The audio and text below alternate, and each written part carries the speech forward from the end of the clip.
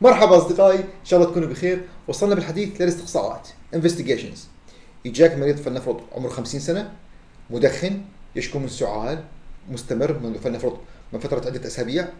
آه، طبعا من الأول أسباب السعال راح تلاقي فيه أسباب مثلا آه، مريض ضغط شرياني وياخذ من مركبات ال ACE.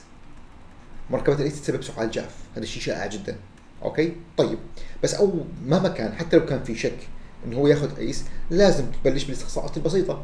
صورة صدر بسيطة على الأقل.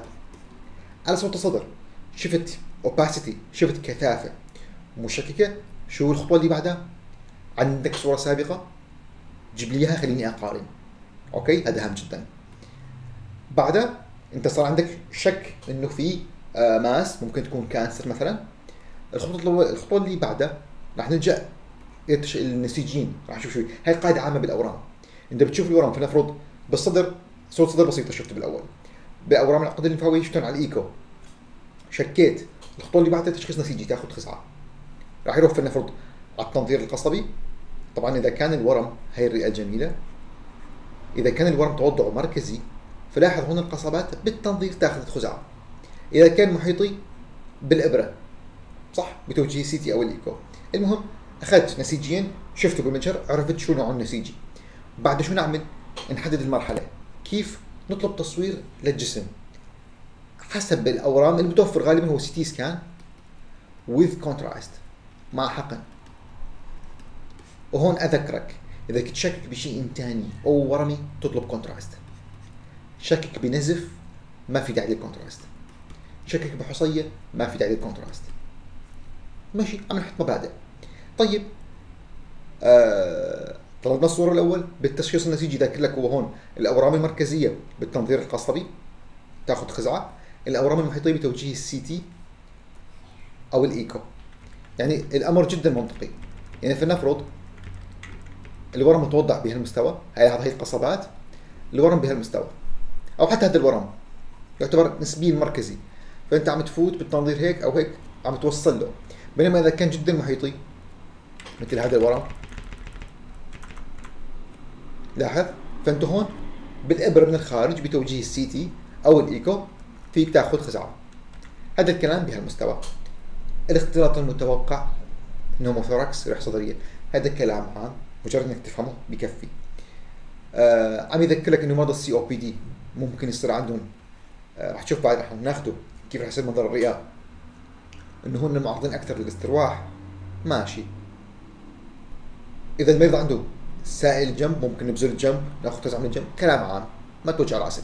شوف هاي الفكرة بس أنا بحاول عم أعرفك على الاستقصاءات تنظير الصدر يفيد على ممكن شوف آه تنظير البطن. لما كنت تشوف استئصال المرارة كيف كان يفوتوا بالناظور صح؟ نفس الشيء بالصدر. بنفوت بالمنظار ونشوف. خلينا نشوف فيديو. شوف كيف مثلا هذا المريض.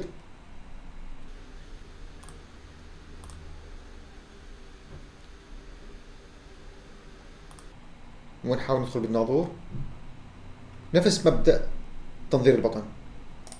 هذا الاستقصاء اسمه تنظير الصدر thoracoscopy نفسه في في شيء اسمه VATS راح تسمع VATS. video assisted thoracoscopy تنظير الصدر بالفيديو. نفس الفكرة هو نفسه. يعني أقصد هذا الاستقصاء راح تسمع نفسه بهالاسم أو بهالاسم. شوف. هون عم يحق نحن هون من الداخل نحن من جوف الصدر. يعرف كيف عم يدخل؟ هاي الرئة عم تتحرك.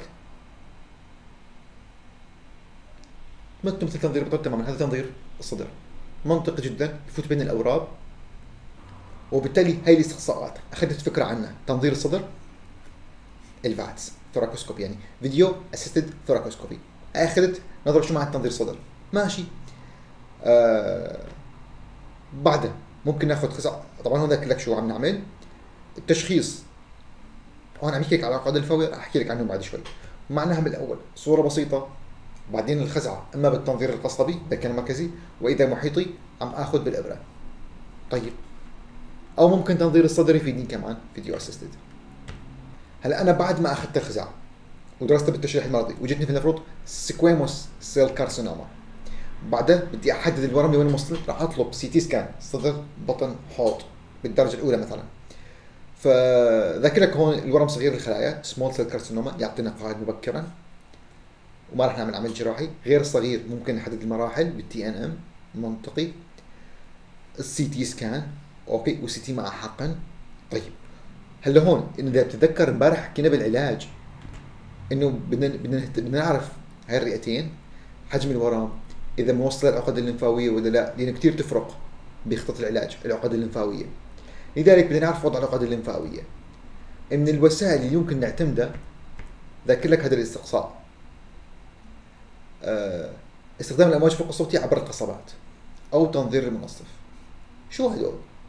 باختصار نحن هون بالقصبات عم يفوت بالإيكو.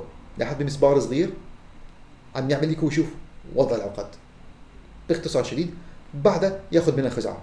بعدها بياخذ منها خزعة. راح اترك لكم روابط الفيديوهات في حال حبيتوا تشوفوه بشكل كامل. ياخذ منها خزعه هذا الاي بي يو اس اي بي يو اس استخدام الأمواج فوق الصوتية عبر القصبات. أو تنظير المنصف. تنظير المنصف. نحن قبل شوي عملنا تنظير صدر. فتت بالمنظار بالصدر. في تنظير منصف بيدخل من هالمستوى.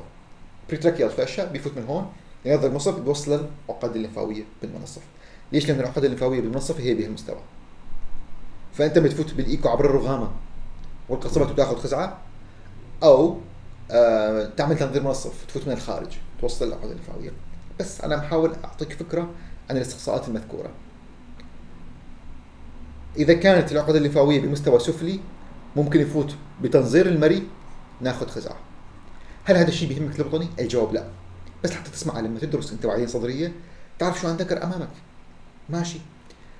ال PET scan اللي هو التصوير بألوان مثل هذا. CT scan بس بيعطيك بوزيتروني مثل هذه الصورة. يساعدك على اكتشاف النقائل شكيت بنقائل عظمية ممكن أعمل تصوير رمضان للعظام. بس هذا باختصار شديد. البطن ممكن أعمل طبقة صدر بطن حوض أو أعمل إيكو للكبد مثلا إذا كنت شاكك بنقائل كبدية. بس حددت المرحلة بعدها بعالج. طيب هون ذاك حاطط لك صورة كأشكال ترسيمية. توضع السرطان على صوت الصدر. آه أنا راح هذا كشكل ترسيمي بس أنا برأيي نتمرن على الصور أفضل. راح أعرض اليوم كم صورة وأترك كصور وحالات أعرضها بفيديو منفصل كفيديو أشعة. شوف هاي الصورة أنت تقراها نفس الاسلوب اللي تعلمنا عليه بس لاحظ بهالمستوى. في عندي كثافة مشوكه الحواف spiculated بهالمستوى. على صورة ال CT scan لاحظ بهالمستوى؟ عندي mass. محيطية.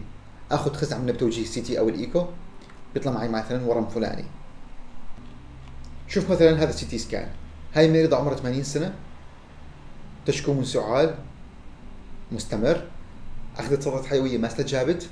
لاحظ حاليا في عندي هاد ال ground glass. مثل الشباك المغبش صح؟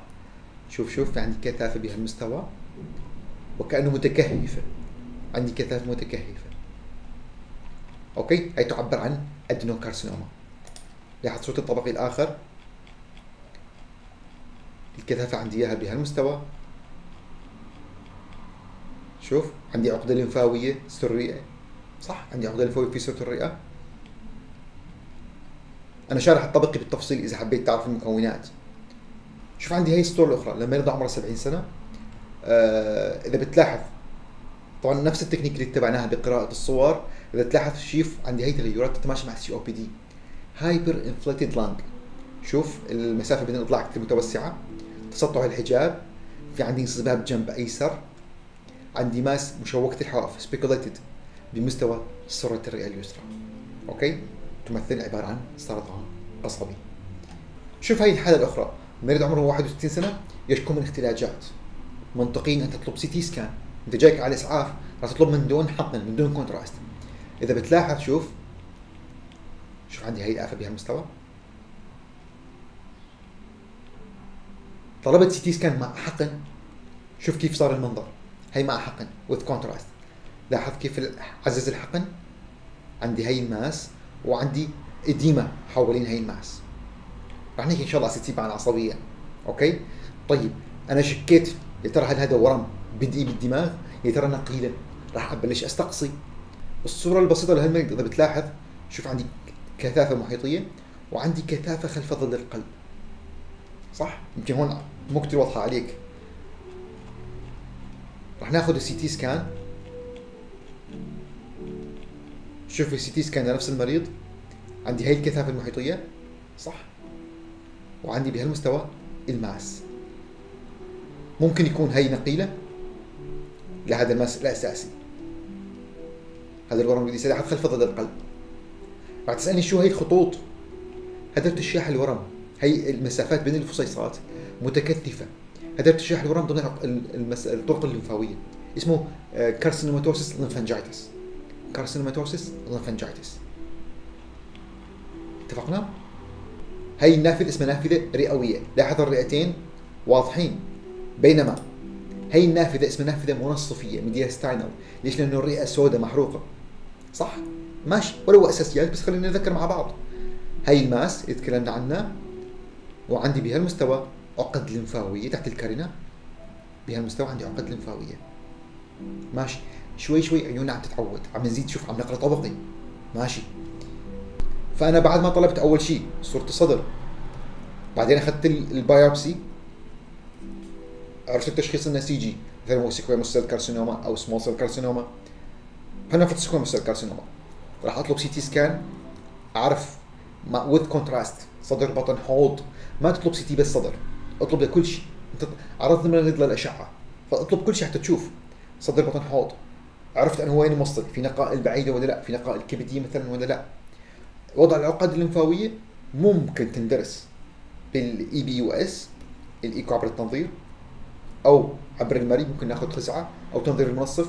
هذا كلام اختصاصي آخر. حددت المرحلة بعدها بعالج مثل ما تكلمنا امبارح. هون عم يعطيك الإنذار حسب كل آه، مرحلة وقديش في البقيه في فيلم اسمه The Professor Johnny Depp أول ما يبلش الفيلم إنه الطبيب بيقول له أنت معك lung cancer معك ستة أشهر حتى تعيش. الفكرة حلوة بس الفيلم الباقي سخيف. بس فكره البداية حلوة إنه قديش شو راح يعمل بالوقت المتبقي. okay بالتدبير والإنذار مثل ما تكلمنا امبارح باختصار شديد. عندي small cell carcinoma علاج كيميائي وشعاعي لهذا نصف مع تشعيع الدماغ وقائيا خلصنا منه. أما الأورام المتبقية فبهالمستوى إذا كان في عندي انصباب جنب ورمي لا ما في جراحة. إذا كان في إصابة عقد لمفاويه منصفية بالجزء المقابل ما في جراحة. إذا كان في قريب من المنصف جدا والاوعيه كبيرة ما في جراحة. هذا هو الكلام بهالمستوى. إذا بدي أعمل جراحة لهالورم بعدها بشوف على حسب حجمه. إذا في عقد لمفاويه أعطي علاج شعاعي أو كيميائي بعده. هون ذكر لك آه، كلمة صغيرة حلوة. إذا كان في إسداد أجوف علوي أو نفث متكرر آلام جدر جدار صدر أو نقائل معينة ممكن أستعمل علاج شعاعي. أوكي؟ النقائل العظمية مثلا مؤلمة ممكن نستعمل علاج الشعاعي هاي بالاورام كثير بتشوفها. هون ذكر لك على المشاركات. يتم بذل انصباب الجنب الخبيث عند المرضى العرضيين مع إيثاق الجنب. انصباب الجنب بالاورام آه راح تشوف إنه مثلا المريض يجي كل 10 أيام تعمل بذل تفرغ كميات كبيرة. كل 10 أيام مثلا. فممكن يعمل يعملوا تفريغ بذل انصباح بالجنب وريقات الجنب هاي الرئه مثلا وريقات الجنب يعملوا إيثاق. يحطوا مادة تتراسكلين يعملوا إيثاق لحتى ما يتراكم السائل مرة أخرى. ماشي. هون كلامي نفس الشيء الانذار ما لك علاقة بالأرقام ما لك علاقة بهالكلام باختصار شديد. اورام أخرى اورام سرطانيه ال carcinoid. في اسمه carcinoid tumor واورام الخلايا العصبية الغدية neuroendocrine cell موجودة بظهارة القصبات الجهاز الهضمي. بالجهاز الهضمي مثلا ينشأ على حسابه. تتكاثر ينشأ على حساب اورام اسمه الورم السرطاني ال carcinoid tumor لهون إحنا متفقين تجمع الخلايا يشكل لك ورم. هذا الورم لما عم يفرز مواد مثل الهستامين السيروتونين. الهستامين يعمل لك flushing توسع وعاء يعمل لك هذا التوهج. تقبض قصبي okay؟ ممكن يعمل لك إسهالات. هاي المواد تعمل لك إسهالات مثلا.